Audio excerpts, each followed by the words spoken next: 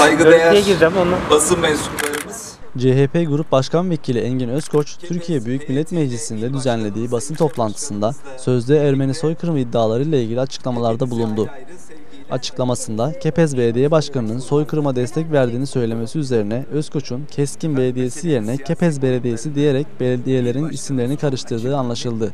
polemikler oluşturmadan Kepez Belediye Başkanı Hakan Tütüncü, Özkoç'u sert bir dille eleştirerek konuya sessiz kalmasının mümkün olmadığını belirtti. konuşan bir grup başkan vekiliydi ve toplantının yapıldığı yer Aziz Türkiye Büyük Millet Meclisi çatısının altıydı. Ağzına her geleni söyleyen kendini bilmez birisine sessiz kalamazdık. Toplantının başka bir gündemi olmadığını dile getiren Tütüncü, şahsına yönelik bir algı yapıldığına dikkat çekti. Değerli arkadaşlar dünkü söz edilen basın toplantısının odağında sadece şahsım vardır. Ve sadece şahsımı tahkir etmeye, tezif etmeye, halkın gönlünde edindiğimiz müstesna yeri baltalamaya yönelik bir girişim vardır. Başka bir gündemi olmayan bu toplantı için belli ki Engin Özkoç'a birileri belli bir not getirmiş. O da buldumcuk olmuş. işin üzerine atlamış.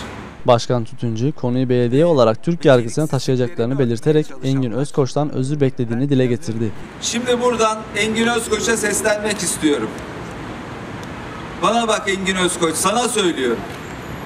Eğer sende zerre kadar haysiyet varsa, insanlıktan zerre kadar nasibini almışsan, Kepez Belediye Başkanı'nın Ermeni, sözde Ermeni soykırımına dair beyanını çıkartır, gösterirsin. Gösteremediysen yine zerre kadar insanlıktan nasibini aldıysan kalkarsın efendi gibi özür dilersin.